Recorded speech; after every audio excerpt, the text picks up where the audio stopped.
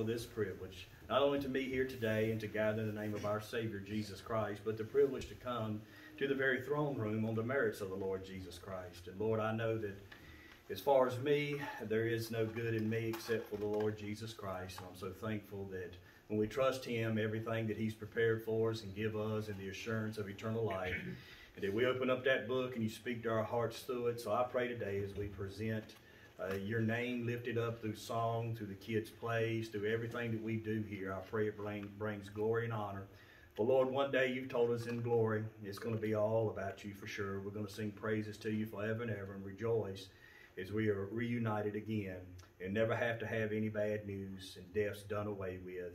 And as we are here today, again, I pray that everything that's said and done to bring glory to you. Remember these that have been mentioned here and ask you just to touch them in a special way, the way that only you can to bring comfort to each individual's heart. And again, we miss those that are not with us, that have gone on to glory. And we just ask today that their memory stay strong in our hearts and we put a smile upon our face when we think of them. In Jesus' name, amen. Miss Stephanie. So again, we want to welcome everybody out to our Christmas program um, today. These kids have worked hard this year than anything sort of traditional and easy on all of us and the families, but we weren't going to let this pandemic rob us of these kids and spreading God's word through these speeches. So it's different than what we've been doing. We sort of went back to the basics, but um, we hope that uh, what they're going to do this morning will bring joy to your heart. And if someone doesn't know the Lord as their Savior, that it will speak to them through this.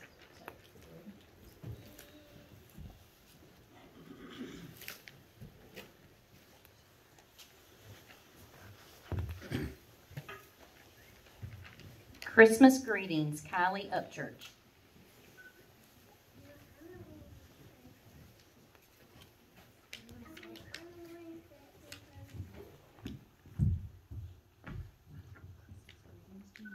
Christmas greetings to you. We are glad you're here. Listen every tell you. Jesus is who is dear. God's gift, Juliana Ritter.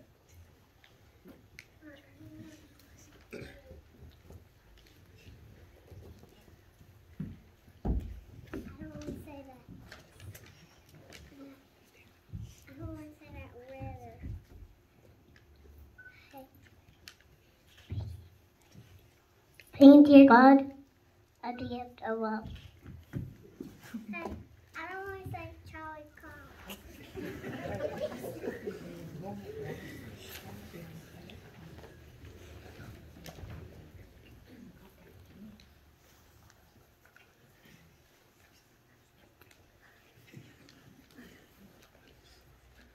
Little baby Jesus.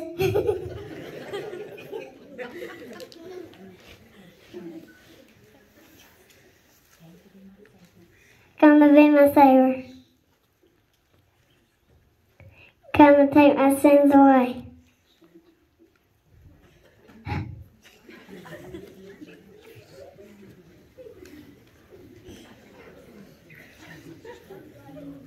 One starlit night, Caden Flincham.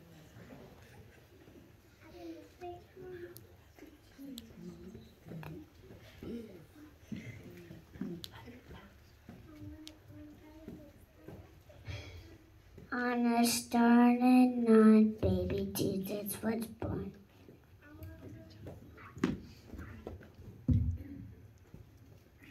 Oh, how small, Braden Upchurch.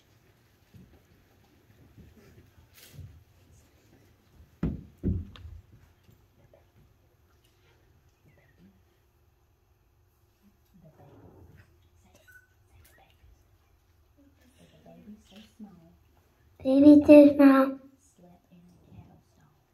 Slept in the cattle stall.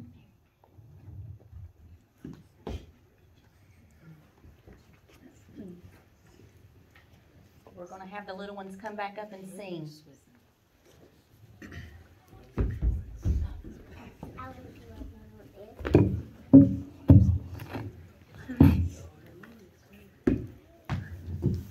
What are you? Am I waiting? What? Oh, yeah, I'm saying. Hey. Hey. Baby Jesus. Hey. Hey.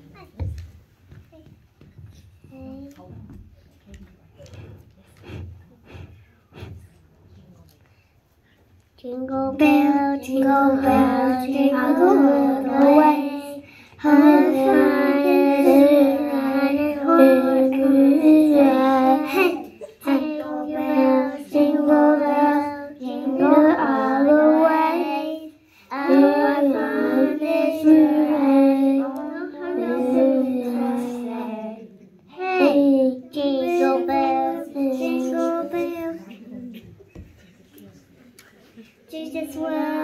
Jesus was Jesus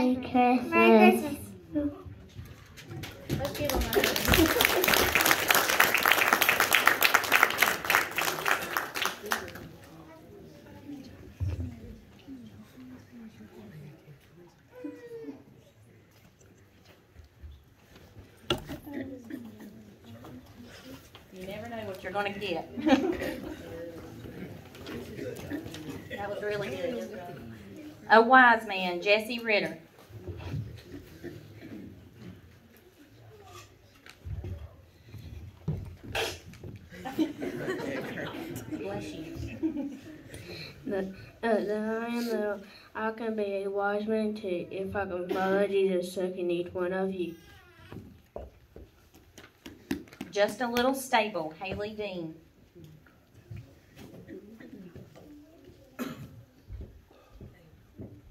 Just a little stable in a little town offered friendly shelter to the Lord come down. Just a little manger filled with sweet new hay, cradled little baby born that holy day.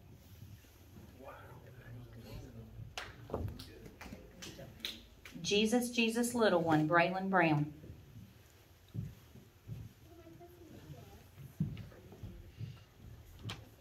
Jesus, Jesus, little one, you are my God's only Son, sent from heaven high, down to earth you may die. Jesus, Jesus, little one, thank you, God, for your Son. Jesus' is gift, Tyler G.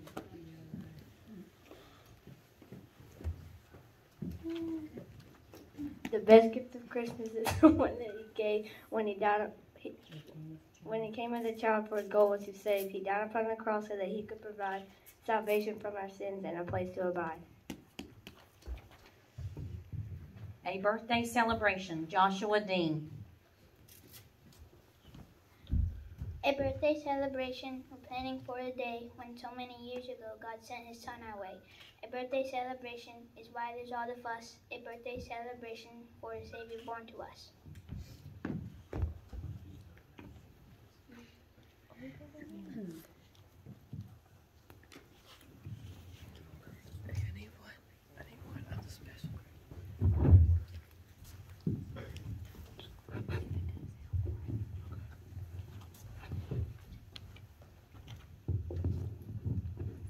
am just a young girl, a kind and loving daughter. I live in the village of Nazareth, doing just what I ought to. One day while I was sleeping, the room filled up with a light. There was an angel beside me, standing there as big as life. I bring you greetings, Mary. There's no need to fear. God has a special job for you, and that is why I'm here. God's people has been waiting, but now the waiting's done. God's chosen you from all the rest to give birth to God's only Son. But how can this be? I asked him. I am a girl with the normal life. Besides, I have no husband. I am not yet Joseph's wife. There's nothing in this whole wide world that is too hard for God to do. God looked for someone special, and God chose you. I do not understand it all, but let it be just as you say. I will be God's own servant. God will find a way. When Mary came to tell me about the angel's news, I must admit I was shocked and a little bit confused. This wasn't what I had in mind of what life should be, so I came to a decision. I call it off, you see. When I lay down upon my bed and dreamed my dreams that night, God sent an angel to me to set the whole thing right. The angel said, Now Joseph, Mary is God's chosen one. She'll be the perfect mother for God's only son. You've been waiting for a Messiah, the child the chosen one, Mary will be a mother of God's only son. You will call him Jesus. This is a special name. It means God is with you, and he'll teach the world the same.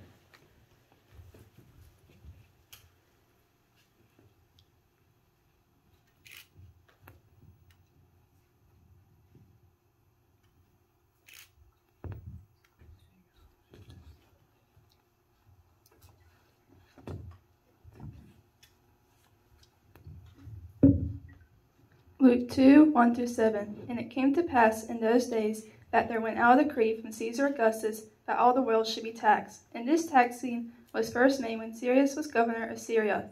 And all went to be taxed, every one into his own city. And Joseph also went up from Galilee, out of the city of Nazareth, into Judea, into the city of David, which is called Bethlehem, because he was the house and lineage of David, to be with Mary, his espoused wife, being great with child. And so it was that while they were there, the days were accomplished that she should be delivered. And she brought forth her firstborn son, and wrapped him in swaddling clothes, and laid him in a manger, because there was no room for them in the inn. And there were in the same country shepherds abiding in the field, keeping watch over their flock by night. And lo, the angel of, of the Lord came upon them, and the glory of the Lord shone around them and about them. And they were so afraid. And the angel said unto them, For not, behold, I bring you good, great, good tidings of great joy, which shall be to all people. For unto you is born this day in the city of David a Savior, which is Christ the Lord. And shall be a sign unto you: ye shall find a babe wrapped in swaddling clothes, lying in a manger. And suddenly there was an, with with the angel a multitude of heavenly hosts praising God and saying, Glory to the God in the highest on earth peace, goodwill towards men. And it came to pass, as the angels were gone away from them into heaven, the shepherds said one to another, Let us now go unto Bethlehem and see this thing which is come to pass, which the Lord hath made known to unto us. Now when Jesus was born in Bethlehem of Judea in the days of Herod the king, behold, there came wise men from the east of Jerusalem, saying, Where is he that is born King of the Jews? For we have seen his star in the east, and are come to worship him. When they had heard the king, they departed, and lo, the star, which they saw in the east, went before them until it came, stood over there where the young child was. When they saw the star, they rejoiced with, ex- with exceeding great joy. And when they come into the house, they saw the young child with with Mary his mother, fell down, worshipped him, and when they opened their treasure, they presented unto him gifts, gold and frankincense and myrrh.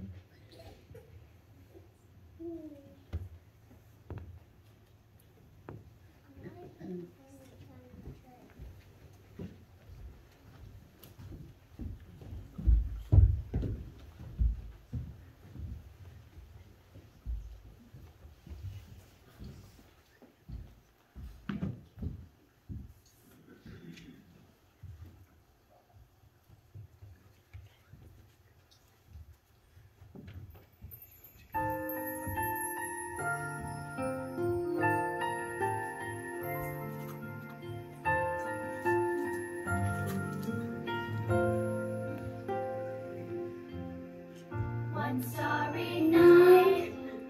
say, dear, treasure.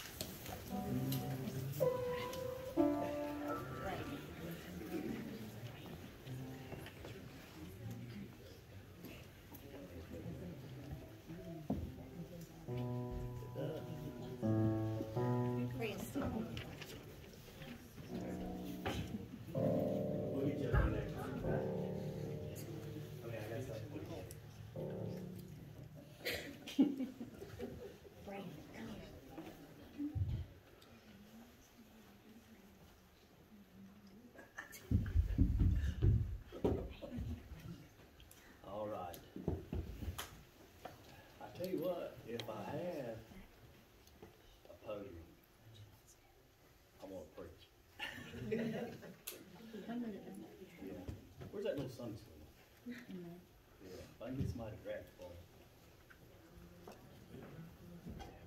That'll work. He's gonna grab it for me.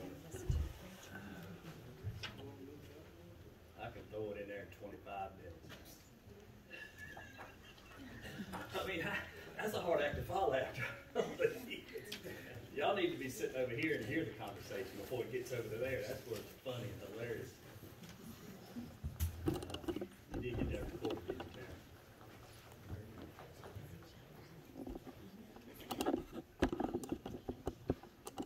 Karen? Know me. Normally we go fellowship right now.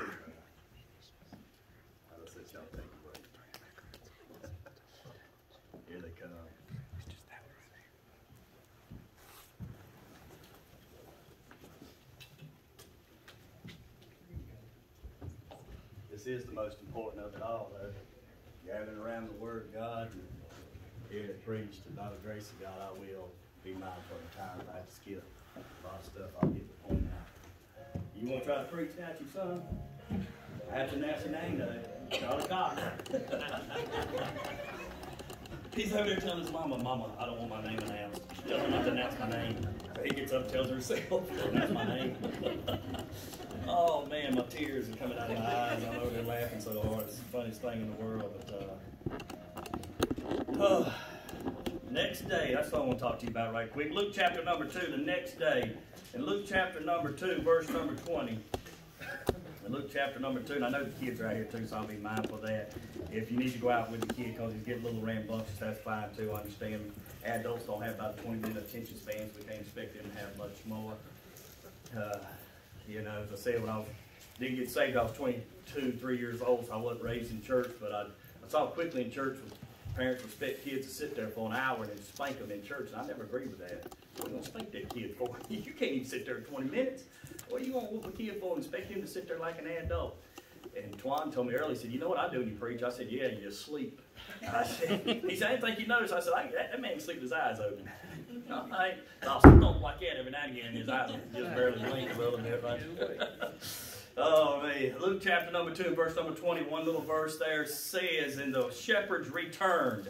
The shepherds returned. That's what I want to just draw your attention to right quick in the time that we have because one of the things that I like so much about Christmas season is this, and that is, you know, people at this time of the year that would never knock the doors of a church or have anything really to do with Jesus Christ, this time of the year they will. You know, you can get them all over the nation here, going to church services or, you know, seeing something on TV in regards to the fact, even if you don't agree with it, you know, the the Frosty the Snowman, the Rudolph the Red-Nosed Reindeer, somewhere in all of that, they're even going to throw in what is this time of the year about? It's supposed to be the birth of Jesus Christ. So that name gets out there. And so I enjoy that. And, you know, people have to travel. They go to families' houses, some, you know, just within their own state. You know, some may have to travel within their own state an hour, two hours, maybe three hours to visit family. Some have to go out of state. And so everybody knows when they're passing one another going up down the road, they know what they're what they're doing. The traveling, the the, the traffic, the you know, uh, the, the abundance of cars on the road. It's all that time of the year, man. We need to leave out because what is that time of the year? It's Christmas time, people on the road. And the Spirit of God can take those things and penetrate the hearts of people. Now, He can take creation itself and penetrate your heart because the Bible says that Jesus Christ is a light that lighteth every man that cometh into the world. And so, just by creation itself, God has put it in a human being's heart to know there is a God. You might not know him personally as your Savior, but there is a God. There is somebody that created this thing. There's design behind it all. And then he puts the words out here, and he puts churches out here, and he puts people door to door, beating on your door, trying to give the gospel out to you to show you your need for that Savior. And so, these shepherds here came to the birth of Christ, or at the time of his birth. And that verse says that the shepherds at this point, they returned. And so, you know, when you come in there, you have the shepherds visiting, just like we have some local friends. They drop by and they visit during this time of year. People you hadn't seen all year long, they'll stop by your house. You have the wise men, they come from out of town. They didn't make it time for Christmas, but they got there for the same reason. And then you kind of, you know, you have the, the family visiting, going to other cities and all this. And those families get there, they get there for Christmas time, but um, uh, any other time of the year, you probably see your family. And just like this occasion, you have three different people showing up to see the birth of the Savior. Now remember, to a Jew, to those people, they have been looking for a king to come. They didn't understand anything about the cross of Calvary. You know, Abraham says, saw my day. You think Abraham saw the uh, Calvary, he saw Golgotha's hill. No, he knew that the Messiah was supposed to come. He believed in a resurrection. We know that without a shadow of a doubt. Jesus Christ tells you in the New Testament, even when they said he's dead, Lord, been dead for four days, Jesus Christ says, I am the resurrection and the life.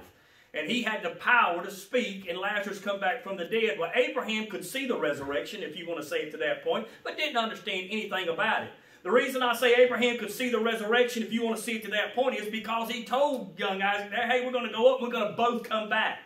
And so he knew that God Almighty was a God that was a living God, and he understood that. But to sit back and say that any Jew at any time could even read any of the Psalms, and you can go through any of those messianic Psalms, you can read that. You now we know it. You think those Jews understood any of that stuff? There's they didn't. They were looking to be delivered from the Gentile rulers, and they were looking for one that would come through their lineage that had been promised, that would set them up as a superpower of the world. And when he came into this world, he came into his own, and his own received him not. He came to those Jews, and they rejected him. Over and over and over again, he told those Jews that he is God.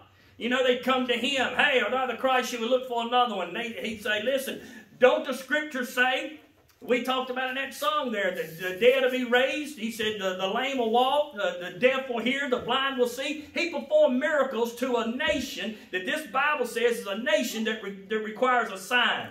And so over and over again, he said, all right, I'll give you one. Here you go.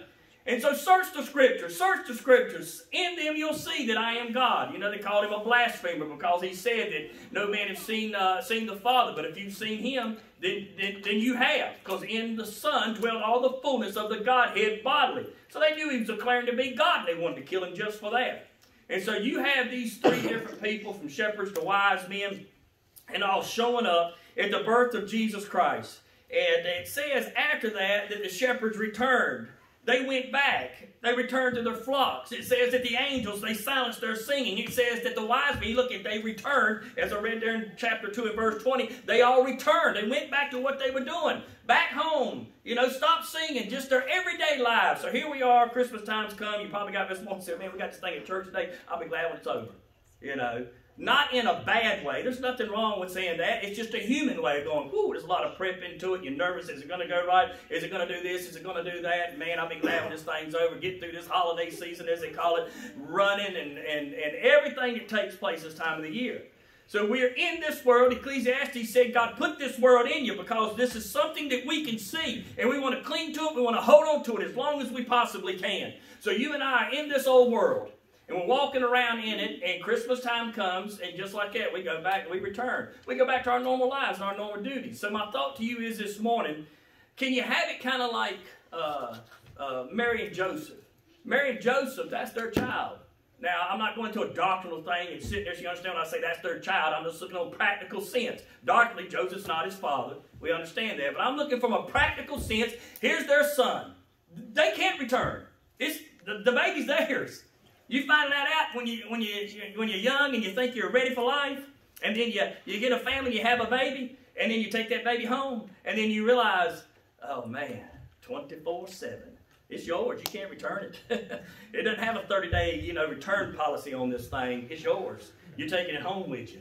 And it's going to be yours 24-7. And it's going to be yours for the rest of your life. And you pray you can raise it to a into a, a an age that uh, it has maturity, and then it goes out and it starts its own family. Now, some of the things I'll inject right quick when I'm tickled sitting over here is, now I'm watching the different kids get up, and I may scan right quick just see what their parents' reaction is to them getting up. But if you could, uh, from my viewpoint right there, I can see everybody. All right. And I got so tickled when Tyler got up there, Tyler G, because Stephanie cut that boy look. and I'm laughing my head off. He's uh, he straightened up. I don't know what the look was about. I don't know the conversation they had before they got here or any such thing, but I got so tickled at that because I could have cut him that look looked up really good. He probably looked at me like, "What's your problem?" he knew what Mama's look was, didn't he? Why? He's with Mama all the time. Didn't have to say a word, just give the look. So here's here's Joseph, here's Mary. They raised that boy. I'm sure they had looks they could give Jesus as well. You know, the only time that they you can say they they couldn't return like everybody else. You know, like I said, Christmas time, you go to your family's house, you go over to mom and dad, you go to the in-laws, whatever, you stay there a couple hours, you return. Here's these people showing up for the birth of Christ, which we call Christmas time. They show up, but they return. But you got a mom and a daddy that couldn't return. And so here's you and I. We're sitting here. We're going now. Let's see. The only time that they could ever, you say, were where uh, something radically changed their lives, which it did to Mary and Joseph. It radically changed their lives. They have a child now. And the only time I can find it here, you know, that I can think of right now is like uh, when he was 12 years old. They come into town. They're heading back out now. They get a couple days journey, realize he's nowhere around. That's probably the only separation they had until, you know, he hits that 30-year-old age. He starts his ministry. And for three and a half years, he goes out preaching to the Jew only.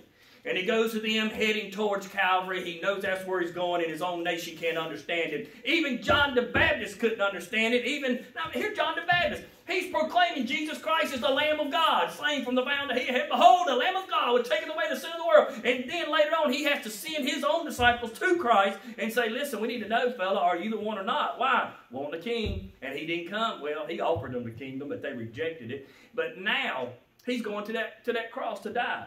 Now, this is in his mama's heart. I mean, the angel's telling her, hey, don't you worry about this thing. Ladies, could you imagine, you know, all of a sudden you're going, I don't feel good. I got morning sickness. I, I don't know what's going on here. I'm not even married. I've never known a man. And all of a sudden you get a little bump in your belly. and You're thinking, what in the world's going on? I'm sick. What have I got, a tapeworm or something? I don't know what's going on with me. And the angel of God comes to you and said, no, don't worry about that thing in you. So the Holy Ghost you're going to have a child. His name is going to be called Emmanuel, which being interpreted as God with us. And this is what's going to happen now. He's going to be born. Now, I'm giving you the updated version.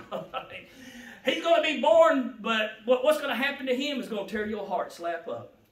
He's going to go to the cross and die, and you got to sit there and watch it. Anything you're going to be able to do about it. You're going to have to watch your own son be crucified, beaten, mocked right there in your very presence. But it's going to it's going to benefit you, and not only you, it's going to benefit the entire world. Could you imagine getting that news? I mean, you'd probably go insane. Most most people would. I mean, you go insane. You just got told that, yeah, you got a baby in you, and you're going, how in the world's that happening? And also, when that baby's born, it's going to be a joy to you. It's going to be a joy to all people if they receive him. But what's going to happen to him and what you're going to see is going to pierce your heart. It's going to tear you up inside. It's not a thing you're going to be able to do about it. And so they could return. They got a child here. So what about you and I? I mean, we're born again children of God. We're saved by the grace of God. We come together for a time called Christmas in which you and I are to recognize the birth of the Savior. For in the fullness of time, God sent forth His Son, made of a, uh, made of a woman, you know, made under the law to redeem those who are under the curse of the law, which is the entire world. And so you and I now, we talk about that, but our main preaching is the death, the burial, and the resurrection of Jesus Christ. That's our main thing. But he had to be born of a virgin. If he wasn't born of a virgin, then he'd have Adam's nature, which you and all you and I all have, which means our blood is tainted. It's no good. We have a sin nature that we're born with. God is holy, and God cannot look upon sin without having to judge it and punish it. And so, if you're in this world and you've never trusted Jesus Christ, or as the Bible says, been born again by the grace of God, then you have the wrath of God abiding over you right now. Because God sees you in Adam, He doesn't see you in Christ. And so, God Almighty says, if you have His Son, then you have eternal life. If you don't have His Son, you do not have eternal life. And so the world goes on. And even heathens will go out right now and they'll recognize this time of the year and they'll buy gifts and they have no clue. So that's what I say. God put it in them. This King James Bible still rules the land and it goes forth that even the heathen don't recognize or understand why they're going out buying gifts and giving it to people. They have no clue. And see, you and I, it's about the gift that was given that day to the entire world. It's about a free gift that you receive, not wanting anything in return. So at Christmas time, you don't say, which we do a lot, you don't say, well, I'm not going to get them anything. They didn't give me anything. You see, that's that old sin nature coming out. Why? Why? They didn't give me nothing. They didn't buy me nothing last year. Am I supposed to get them something this year? Well, if I do get something, when they get me something, they don't know to spend about $5 on me, so I can spend about $5 on them and you just throw the whole thing. It ain't about if somebody gets you something, it's about what God gave you. See, the Bible says not that we loved Him, but that He loved us and gave Himself for us. God said, The only thing I ask of you in return, when my Son is crucified upon that cross, the only thing I ask of you in return is that you just receive Him. Receive Him as your personal Savior. The free gift that I'm giving you is eternal life. There's nothing you can do to earn it or merit it. There's not a thing in this world you can do that God would look down upon you and say, Well, you're a good old boy, I'm going to let you come to heaven. Apart from coming to Calvary and seeing yourself as a sinner and asking Jesus Christ to save your soul, and at that moment in time, that is receiving the free gift of eternal life. And when God Almighty says you receive it, He seals you by His Spirit till the day of redemption. So it doesn't depend upon you. If anything, you better get down is the people that are in hell right now. Hell is real, and it's got a lot of people in it right now, a lot of more that's going to go in there. The reason they're there is not because of what they have done in life. You know, the drunkard went there, the murderer went there. They, they might be there. There's no doubt there's people that have done those acts, but that's not why they're there. The Bible is clear that people go to hell not because of what they do, but because of what they will not do.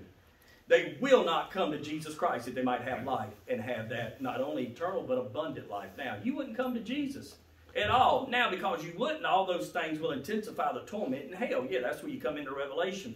And you see the great white throne, and these are they which shall have their part in the lake which burneth with fire, the, mor- the murderer, and the whoremonger, and the liar, and the adulterer, and the sorcerer. And he lists all those things in there. Those people did that, personified who they were on this planet. But when you're in Christ, behold, any man being Christ, he's a new creature. Old things pass away, and behold, all things become new. And God Almighty never identifies them as such ever again. Never. He looks at them and says, Now are we the children of God. It does not yet appear we shall be, but we know that when he shall appear, we shall be like him. We're going to see him as he is. We're going to get that new glorified body. So here we are. We can come today, we can have this Christmas play. You can go out and do all your shopping. You can gather at your mom and daddy's house, your brother's house, your in-law's house. You can gather and gather, but you're going to return. You're going to go back to your house. People are going to travel back from the state they went to or whatever it may be. You're going to go back to your routines as you've always done just like the wise man, just like the angel, just like the shepherds. It says they returned. But Mary and Joseph, they couldn't. So we kind of need to be like them. We need to have a 24 7 recognition of the Lord Jesus Christ and our love and adoration and all these things for the Lord Jesus Christ constantly. So Mary and Joseph never did return from seeing Jesus Christ. Now, the problem in America, you want to sum it all up for the last 60 years, 60 or 70 years, or however now. I mean, I can't, time's going on now, and uh, you know, 50 years old myself, I, I, I probably need to go back even further now when I say this, but whenever TV entered into the homes of Americans, you can say from that day forward, Americans quit reading their Bibles. You just want to back it up. Go back, some of you a whole lot older than me, and you remember when the TV first come in your home and you can break it down then. What happened before you had TV? Before you had TV, you had a book. You read. How'd they teach you to read? They taught you to read using the King James Bible. Yeah, you gathered around. Somebody was reading this thing to you. Around somebody was reading it to you. You didn't have TVs to watch. You know, well, I had radio. Well, okay, well, I'll take you back even further. Then, when the radio come into your house, the Bible got thrown to the side.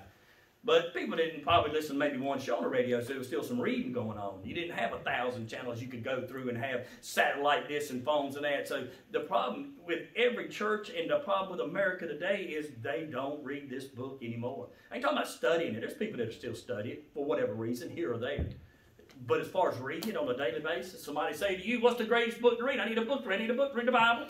The Bible. Well, I don't need a religion. This ain't a religious book. This is a history book. Get in it and read it. It's the history of the universe, the history of a Jewish nation. It's the history of a king that's going to come back and sit upon the throne in Jerusalem upon this earth right now as the King of Kings and the Lord of Lords. He will set up Jerusalem as a superpower of the world, and then he's going to create a new heaven and a new earth. But in between there, there's still a heaven and a hell. And right now, you and I are here, but we need to be like Mary and Joseph. We don't, we, we don't need to return. We need to stay with Christ all the time through all life's situations. We don't need to take off and, and realize, you know, well, God understands. Where did you get that at? God understands what? If it's not this book right here, but if it's clear cut this book right here that you're dead wrong, then you need to read this book.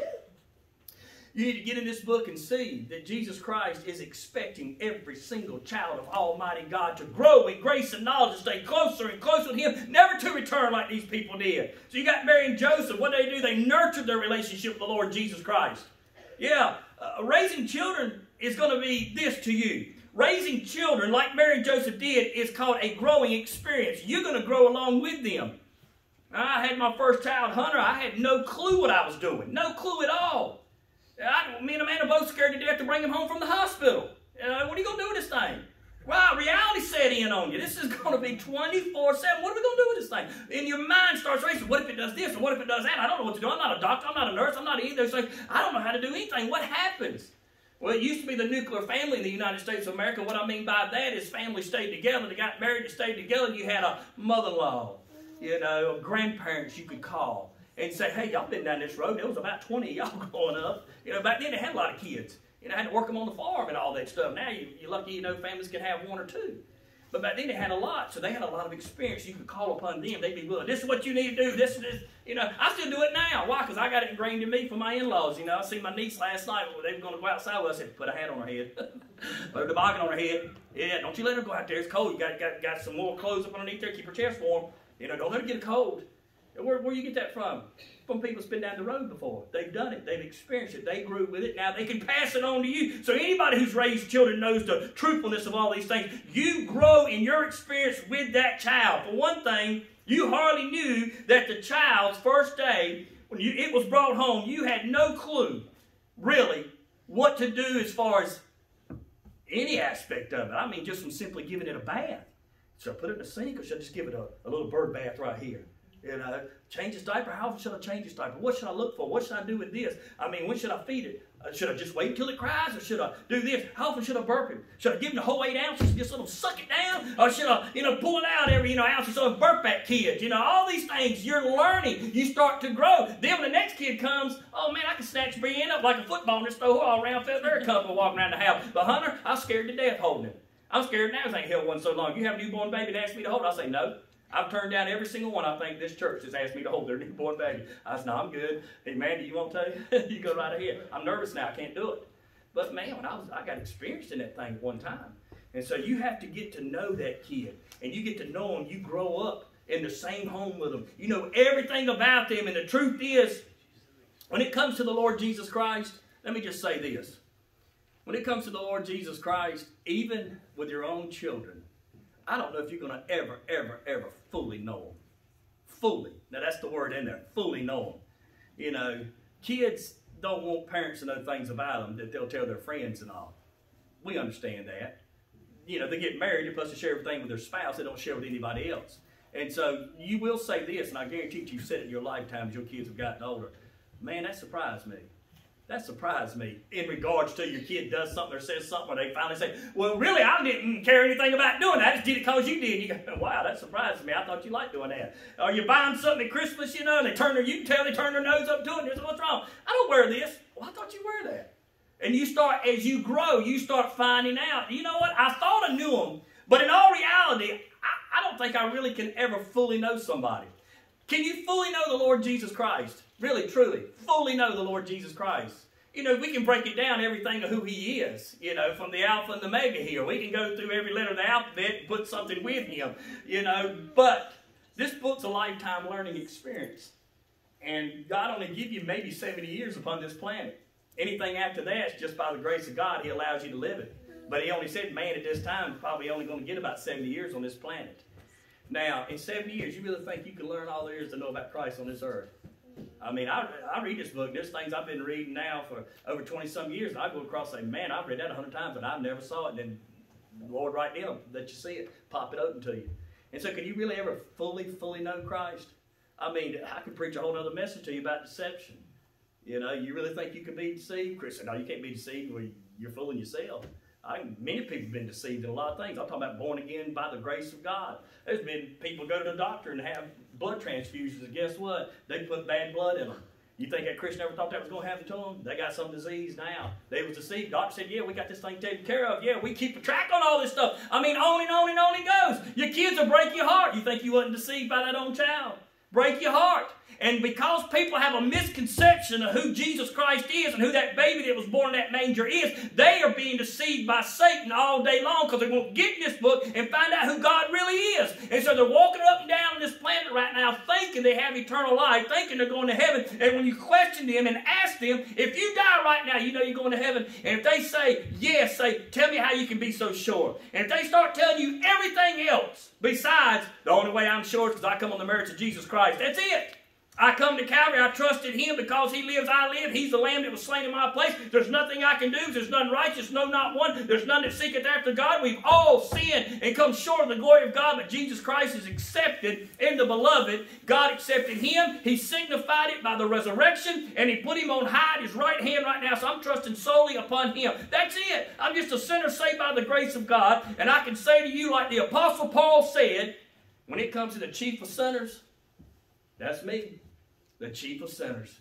But I'm just saved by the grace of God. You come with any other way, Jesus Christ, not me. Jesus Christ said, You're a thief and a robber. If you try to come up any other way, well, I'm a good person. I do to my neighbors, so what's that got to do with God? Well, I do this. You got to you got to cart before the horse. You got to serve. You got to love God before you can ever think about loving your neighbor or anybody else or doing good for anybody else. You got to love God first. If you get those things switched up, you've been deceived. Who's you deceived by? God didn't deceive you. He's got it right here in this book for you. Somebody deceived you. Somebody that's called a liar and a murderer and a cheat from the beginning. And the Bible says, "In the works thereof you will do." Somebody took the words from you and deceived you and twisted it around to you. And so you grow up, things change in your life, they change in your family. The one thing about it, blood is blood. You can't change that. Blood is blood. They can say all they want to. I don't, you ain't my mommy and my daddy. Don't matter. Blood's blood. You can say what you want, but uh, you're still my child. Same way when it's a child of God. Oh, you just can't tell me a person go out and do this to go to heaven. When I got saved by the blood of the Lamb of God and covered by that blood, there's nothing that can ever separate me from the love of God, which is in Christ Jesus. Nothing. I'm still a child of God no matter what. See, I don't go on my feelings. Feelings that get you in trouble in a heartbeat. I go on with the words of Almighty God says, and God's promised me eternal life when I simply trust in His Son. So if I'm trusting His Son to have eternal life, what in the world would I want to leave that for? You know, these people left. Wise men, you're gone. Go back to what you're doing. You know, the angels, boom, go back to what God had you doing. You know, the shepherds, we got to go back and watch our flock. See, they returned, it says there. But Mary and Joseph couldn't return.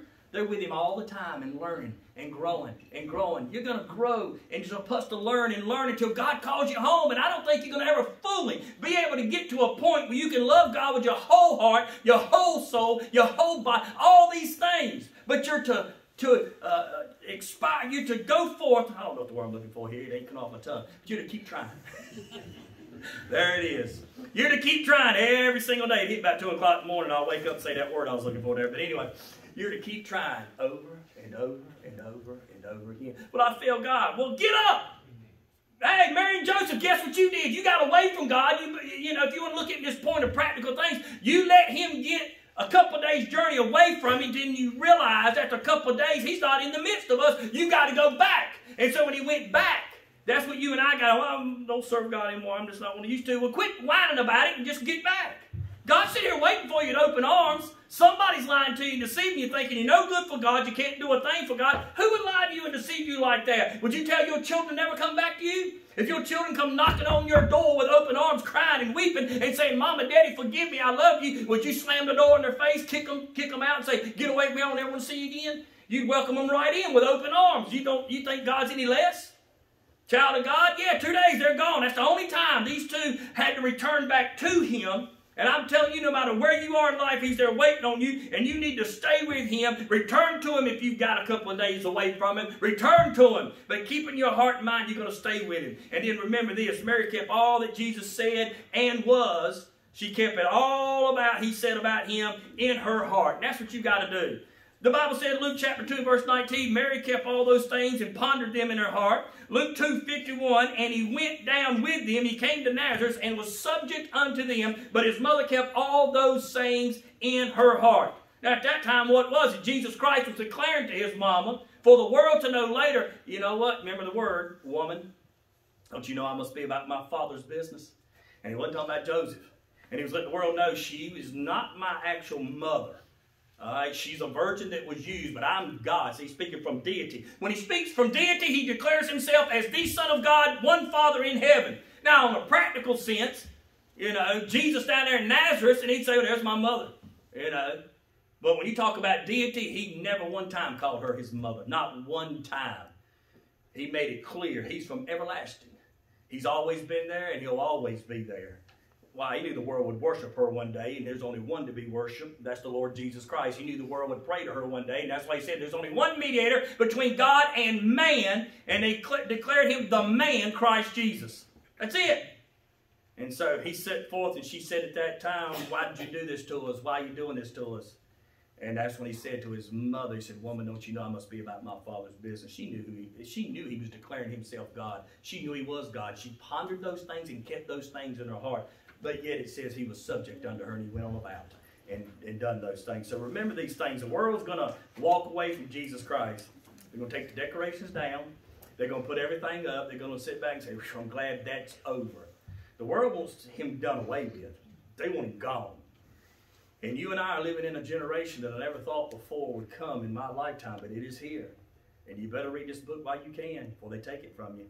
Because I can guarantee the next four years, it's going to be strongly, strongly pursued to shut churches down, to shut the Bibles down, to charge. How you shut them down? Well, you, you, you take everything you can to them. You take the tax exempt status away. You shut them down just like the world shut down. How do you shut down America? Financially. You shut them down financially, and you you you, you put the hurt on them. You, the man with the money's got the power. That's true in all life. And the United States is a superpower of the world because we got well, had one time the greatest economy in the world, and we had the power to build a military and to keep it going. Yeah, you shut the churches down. You put everybody in fear, scared, come down, shut them down, you know, and then boom, it's here. You remember this, Daniel, and what the kids read here a minute, ago in, in Luke when they were going about to be taxed. And Daniel says the same thing.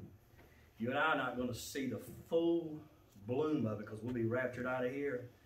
But when the man sets up fully during the tribulation, one part of the Antichrist, because there's going to be three different stages of him, he's going to be a raiser of taxes, Daniel said. Marion went about as an international tax that's coming to the world. It's going to support things that'll blow your mind and anything you're going to be able to do about it if you're still here. And a thing you're going to be able to do about it. But it's setting up right before your eyes. So you better read this book while you still can before they take it from you. Because they've almost done that. They're pretty close. You can't read in schools. You can't pray in schools. You can't have any public settings unless you have Satan come in and be prayed to as well. So you better read this thing while you can. Because it ain't coming much longer. We're here. It's there. Trump of God can sound at any time. So I'm praying even so come Lord Jesus. But but don't return. Stay with it. Don't be like them. They had to. They went back not even recognizing things. You don't see nothing else really about it. But Mary and Joseph, be like them. They, they was with that child and they wanted to grow and know. You want to know more about Jesus. So, so stick with him and keep these things in your heart. Read this book. Read it every single day. Read it. Four, all you got to do is read four pages a day. Four pages, not chapters. Four pages a day. You can read through this book in one year. Four pages. And you can read through this thing in one year. That's not too bad to ask somebody, is it? I ain't got time to preach four pages a day. You can't read four whole pages a day. That's really just front and back of one page. it's about, or I say, uh, yeah, you can read a couple chapters in four pages. You probably get in four or five chapters in some books a day, and you'd have this thing through in a year. So let us pray. Father, again, we rejoice. We do recognize the birth of our Savior, because in history, this is a history book about the Jewish people. And God, we know this world right here wants everybody to be in unite, united unity. But God, you chose a Jew and the Jewish nation over the whole world.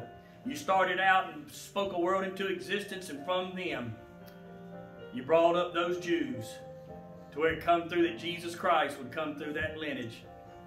And as he come through to show that one day he's going to sit upon the throne, here's the King of Kings and the Lord of Lords, fill the covenant with David as an everlasting throne. And then he's going to show the whole world at that time that he is the one and only potentate, the King of Kings and the Lord of Lords that was crucified at Calvary for the sins of the entire world. I know it breaks your heart, Lord, that people reject you. And they'll go to hell because they reject the free gift that this time of the year points towards. The gift that is given to the world, and people just mock it, ridicule it, and think they're so smart and they got it all figured out.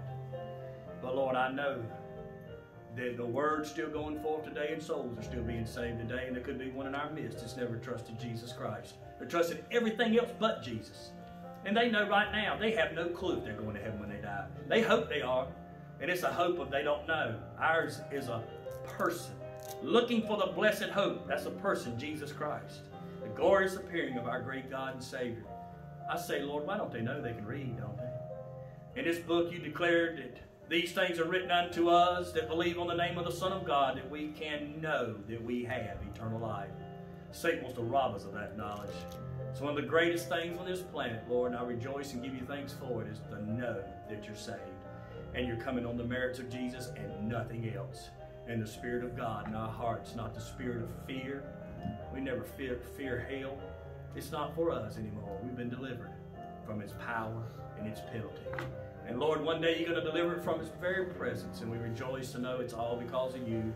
And we just continue to thank you for these young kids and what a joy you put in our heart. Laughter feels good like a medicine. How you let us laugh today, Lord, and have a joyous time here with these kids. And I pray these young kids will get you will and just stay there. Thank you for their salvation and trust in Jesus. And I ask, Lord, that you'll just continually make your presence real in our lives. Bless as you already have and then some all families that are here today and continue to deal with our hearts now in Jesus' name. Amen and amen. All right. I believe Brad's coming up. I'll just stay aside. Amen. Man, if you would come up here.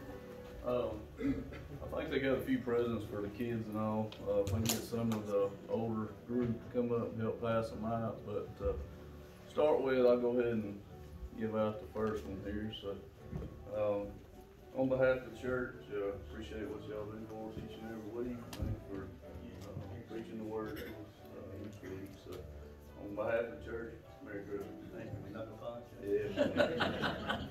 Thank you. Thank you very much. Uh, I'm gonna let Amanda make her speech today.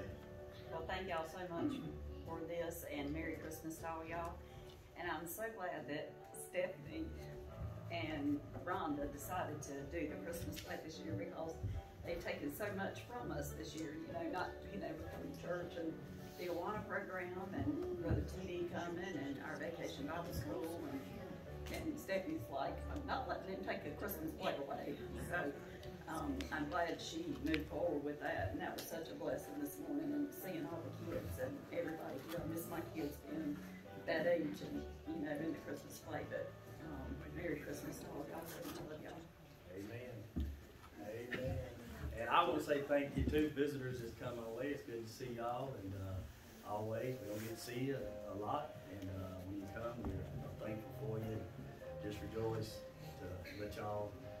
Part of this, and y'all uh, see you with your families rejoicing because I believe families are strong thing. And I say again, uh, I tell the church I don't like taking any money from them at all.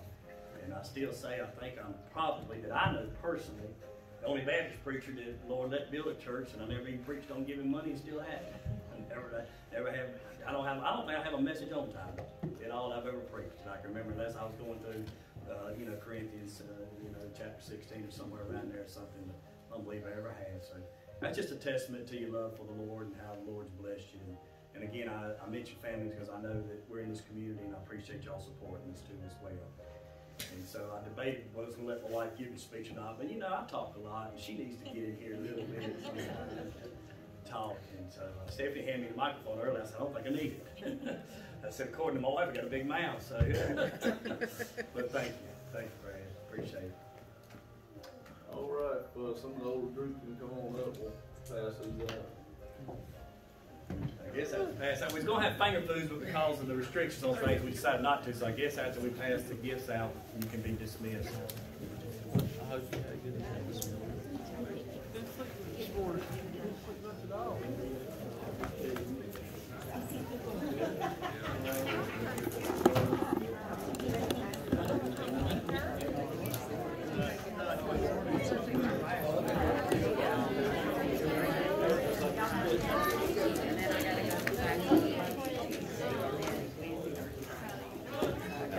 Thank you for doing the music. You're welcome. Rhonda, you done good. By the grace of God, we pulled it off. How's that head? Much better, thank you. I know other things.